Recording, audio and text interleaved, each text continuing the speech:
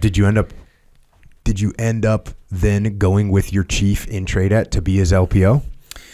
No, so uh, around that time, you, they they sent Jonny Kim over to assaults like just very temporarily because he was on his way to um, go to school.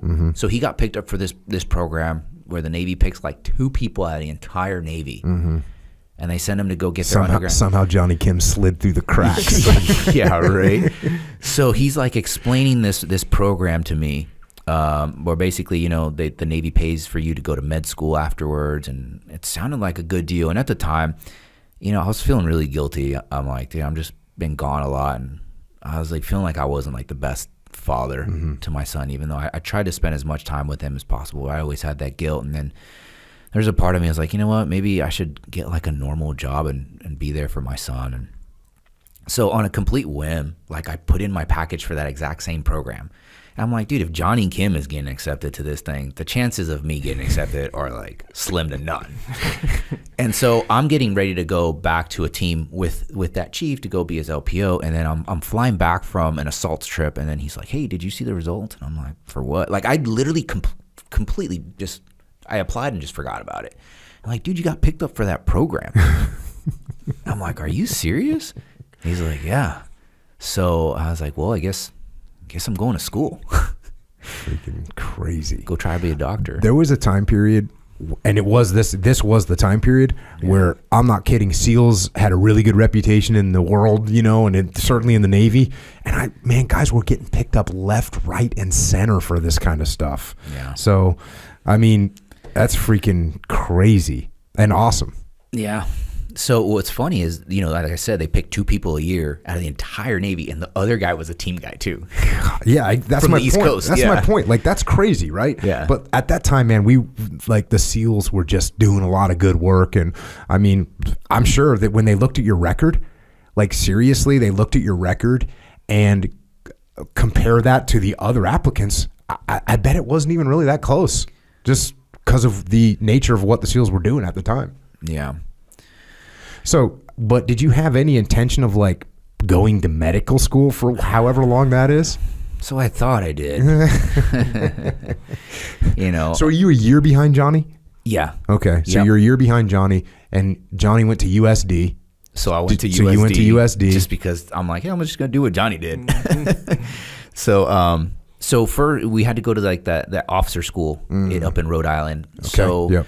in January of 2012, that's when I left TRADET and we went to Rhode Island, and it's where you learn how to be an officer. Do you get commissioned up there? No, Or you just no, go to don't, school? Yeah, you just go to school. You don't get commissioned until you graduate from Got school. But that's actually where like you know they're like, oh, you gotta have blue camis. I'm like, I don't own any blue camis. Yeah. And what's funny about that? So I didn't know. So they have the, the you know the big blue jackets, Mm. and those things are expensive. They're like 350 bucks, and I'm already buying all these uniforms that I didn't have Right. because I don't have any blue stuff, and neither Because did you're gonna buddy. have to go to ROTC. yeah, Is that what you're gonna have to do? yeah, afterwards. But you don't have to wear blue. Oh, but you had to get those blue camis for the knife and fork school up in Rhode Island. correct. Got it. So my the other team guy that's there with me, you know, we go there and he's he's cheap too. So he's like, dude, I don't want to buy this jacket. I was like, I don't want to buy it either. I was like, screw it, let's not buy it. You know, I don't need no jacket. You know, even though it's Rhode Island in January. so we form up. Yeah, we form up, and I'm in my blue camis, and he's on blue camis, and and you know the the chief the chief who's like the the RDC or whatever he's called. You know, he's like, "Oh, how come you guys don't have jackets?" I was like, "Well, you know, we didn't want to buy them because we're literally gonna have them here. We're never gonna use them again, and they're really expensive." He's like, "Well, we're all uniformed around here, so they make everybody take their jackets off, and it's it's freezing cold." And then um, he's like, "We'll keep doing this until you guys buy jackets." And I told my buddy, "Don't you dare buy a jacket." and he's like, "Okay, cool." And we were freezing cold. Yeah. But we would just sit there and be like, "We're not cold." But we were we were dying. It's not having school, and it got to the point where they're like, you know, people started crying in the class, like literally, like, "Oh, we- you know, we're mm-hmm. freezing cold." So they're like, "All right, change into your khakis." I was like, "Okay, I'll buy the jacket for the khakis. I'm mm-hmm. probably I might use that later on." Mm-hmm. So you get done with that, and then you go to you go to USD. USD, University of San Diego. You're going to be doing the same, um, whatever, the same thing Jonny did, Yeah, trying to get your pre med knocked out. yeah, How'd that go for you? not well. I'm not Jonny Kim. um, I'm I'm miserable. You know, I'm I'm taking like 18 to 21 units a semester. Um, I really didn't enjoy the classes I was taking, like chemistry, biology, just stuff that was so boring to me.